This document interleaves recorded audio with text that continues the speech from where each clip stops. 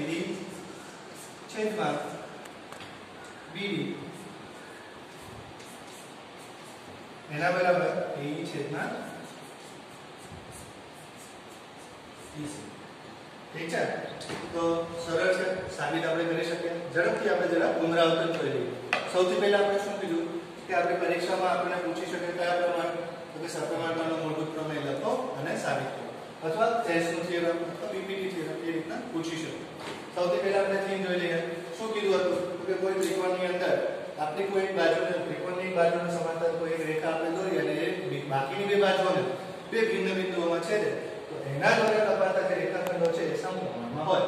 મતલબ કે એમનો ગુણોત્તર સરખો તો પક્ષમાં આપણે આ લીધું કે ત્રિકોણ એબીસી આપે છે ડી સમાંતર બીસી સાથે સાબિત શું કરવું છે? એબી છેદમાં ડીબી બરાબર એ છેદમાં ઈસી ઠીક છે? આ જે છે એડી છેદમાં ડીબી ઈ છેદમાં ઈસી ક્લિયર સાબિતી, સાબિતીમાં મેં અહીંયા ચાર મુદ્દામાં તમને વાત કરી છે. તમે પરીક્ષામાં જ્યારે લખશો, ત્યારે ટર્ન બાય ટર્ન લખશો. બરાબર? મારી પાસે અહીંયા થોડો જગ્યાનો અભાવ છે, એટલે એ રીતના મેં એનો યુઝ કરેલો છે. તમે પરીક્ષામાં લખતી વખતે ચારે ચાર મુદ્દા એક, બે, ત્રણ, ચાર કરીને પણ લખો અથવા તો એક સાથે સળંગ લખશો ઠીક છે? યાદ રાખવા માટે આપણે અલગ કરેલું છે સૌથી પહેલા શું કર્યું પહેલા મુદ્દાની અંદર આપણું જે આકૃતિ છે એનું ડિસ્ક્રિપ્શન આપી દીધું કે ભાઈ આપણી પાસે આ આકૃતિ છે ને એમાં આ વસ્તુ વેદ છે, કોણ સમાંતર છે? એટલે કે ત્રિકોણ ABC માં D સમાંતર બીસી છે ઈએર ના બે બે સી બી અને BC જોડ. ઠીક છે? પછી આપણે શેના મુદ્દા પર આવે? આ બાજુના મુદ્દા. અને અહીંયા આપણો જે ત્રિકોણ AD છે, એની સાથે જે નીચે સંકળાયેલો ત્રિકોણ છે. મતલબ, આપણી પાસે આ જે ત્રિકોણ હતો, એમાં ઉપરનો ત્રિકોણ અને એની નીચેનો ત્રિકોણ આપણે લીધો. આ બાજુ. અને એ બંનેના ક્ષેત્રફળનો આપણે શું કર્યું? ગુણોત્તર લીધો અહીંયા ઠીક છે? ADE અને આ નીચેનો ત્રિકોણ BD અને એના માટે આપણે એક દુત્યાંશ પારગમ્ય વેગ, એ સૂત્રનો ઉપયોગ કર્યો.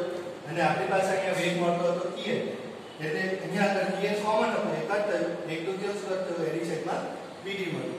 હવે આગળ બીજા મુદ્દા પર આપણે જઈએ. આના પછીના મુદ્દા પર. તો હવે આ ત્રિકોણ નીચે બે કયો ત્રિકોણ આવશે? બીજો ત્રિકોણ. આપણો આ. ઠીક છે? એટલે આનું ક્ષેત્રફળ અને આનું ક્ષેત્રફળ જે હતું, એ બંને આપણે લીધું. તો લીધું અને એના પછી એનો ગુણોત્તર કર્યો. ઠીક છે? એ બંનેમાં કોમન વેગ કોણ હતો? Dm. એટલે એ આપણે કટ કરી દીધું, dm. અને એક તો ત્યાં સુધી તો સૂત્ર શું મળ્યું a છેદમાં 20 ઠીક છે? અને છેલ્લો અને ફાઇનલ મુદ્દામાં આપણે શું કીધું? કે આપણી પાસે સમાંતર રેખાઓ, આ BC અને આ D. એ બંને વચ્ચે રચાતા ત્રિકોણ, મતલબ એક આ ત્રિકોણ. અને બીજો ત્રિકોણ આપણો હતો આ.